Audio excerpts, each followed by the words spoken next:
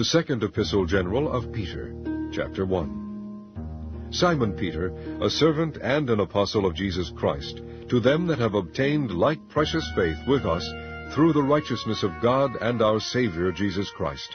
Grace and peace be multiplied unto you through the knowledge of God and of Jesus Christ our Lord, according as his divine power hath given unto us all things that pertain unto life and godliness, through the knowledge of him that hath called us to glory and virtue, whereby are given unto us exceeding great and precious promises, that by these ye might be partakers of the divine nature, having escaped the corruption that is in the world through lust. And beside this, giving all diligence, add to your faith virtue, and to virtue knowledge, and to knowledge temperance, and to temperance patience, and to patience godliness, and to godliness brotherly kindness, and to brotherly kindness charity.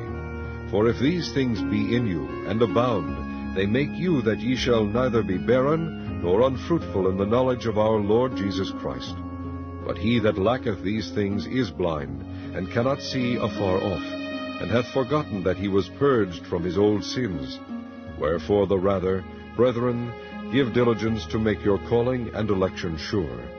For if ye do these things, ye shall never fall.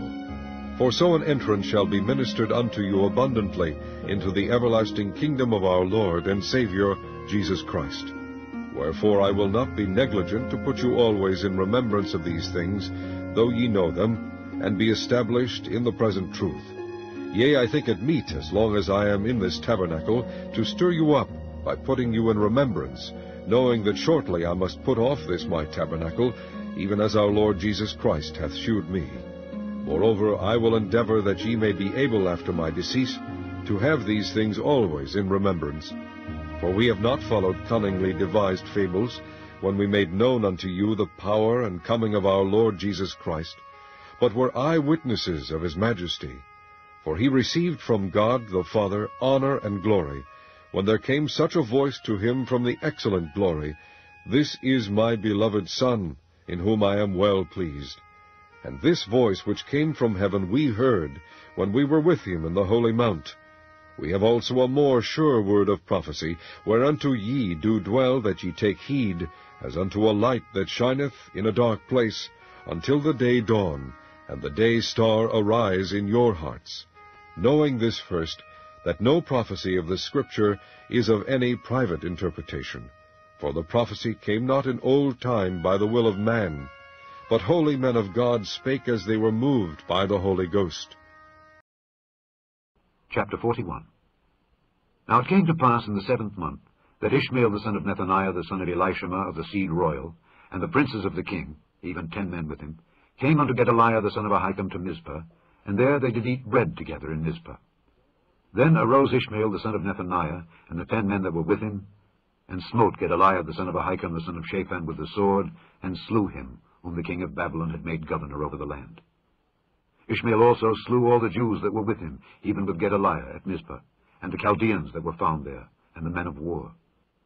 And it came to pass the second day after he had slain Gedaliah, and no man knew it, that there came certain from Shechem, from Shiloh, and from Samaria, even fourscore men, having their beards shaven and their clothes rent, and having cut themselves, with offerings and incense in their hand, to bring them to the house of the Lord.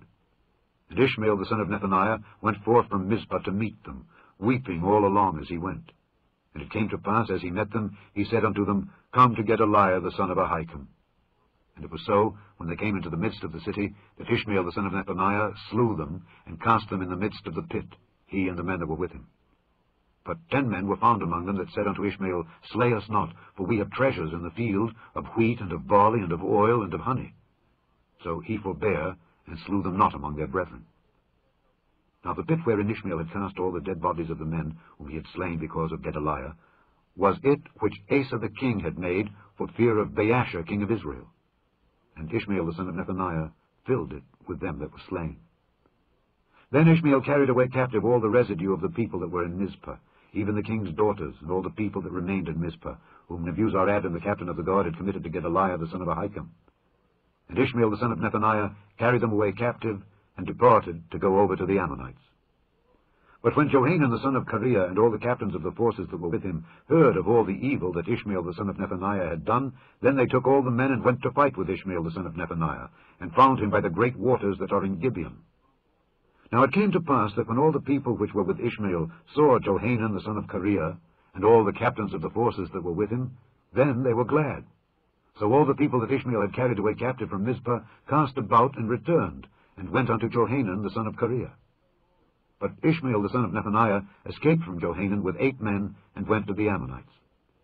Then took Johanan the son of Kareah, and all the captains of the forces that were with him, all the remnant of the people, whom he had recovered from Ishmael the son of Nethaniah, from Mizpah, after that he had slain Gedaliah the son of Ahikam, even mighty men of war, and the women, and the children, and the eunuchs, whom he had brought again from Gibeon.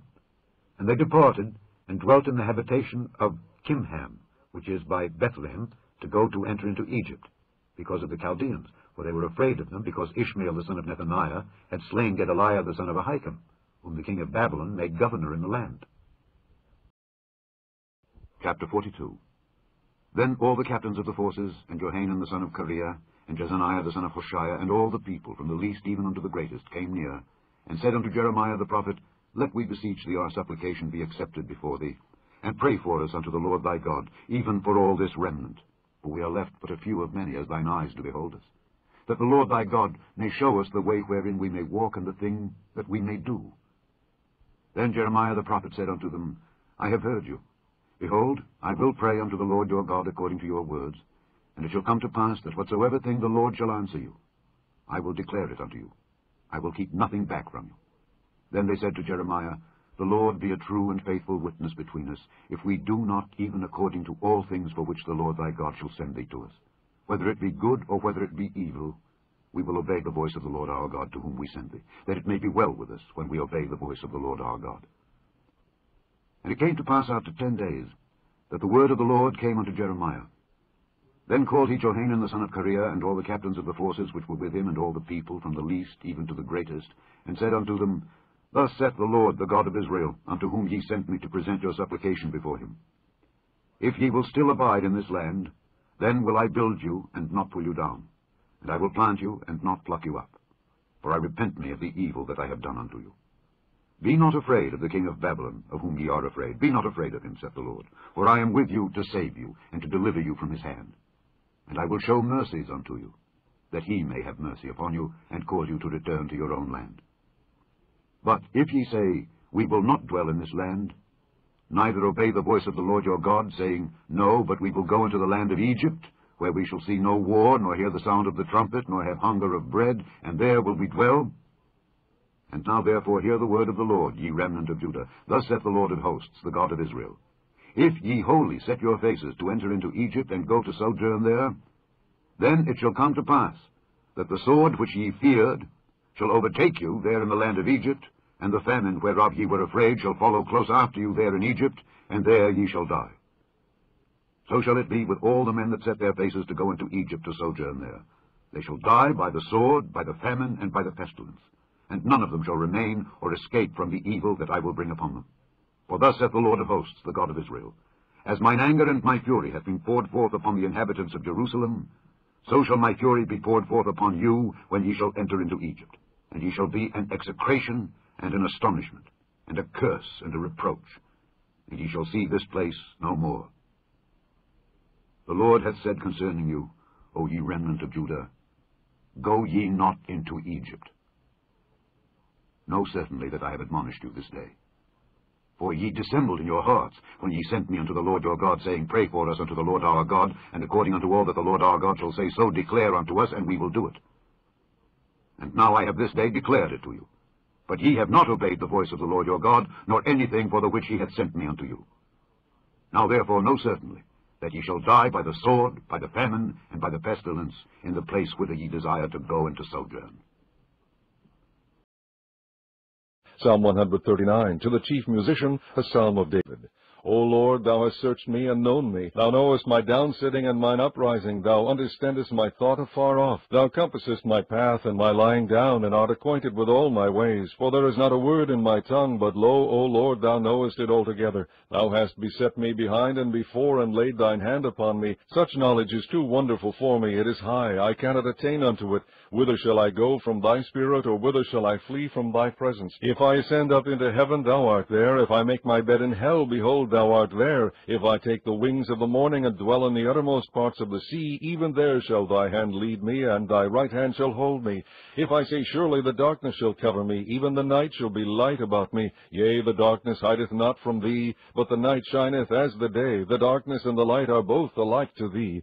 For thou hast possessed my reins, thou hast covered me in my mother's womb. I will praise thee, for I am fearful and wonderfully made. Marvelous are thy works, and that my soul knoweth right well.